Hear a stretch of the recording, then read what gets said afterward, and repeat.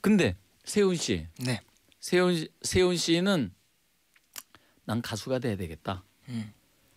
자기의 재능이 어, 뭐 이렇게 이제 오디션 프로그램에 나가서 이제 뭐 승승장구하다 보니까 이제 가수의 길로 들어서 어마어마한 이렇게 책을 내고 이렇게 됐는데 가수를 동경 가수가 되고 싶다 이런 생각을 언제쯤 했어요?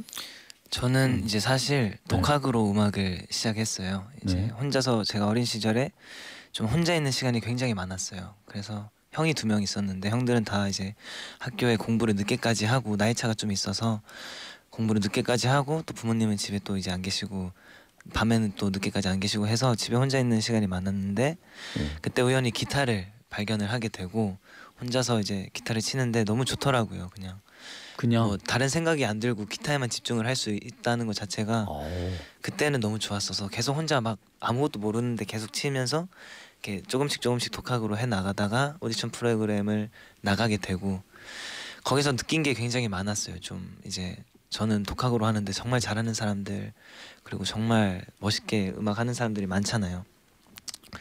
그런 분들 보면서 되게 자극도 많이 받고 음악을 좀 제대로 공부를 해보고 싶다라는 생각이 많이 들었어서 음.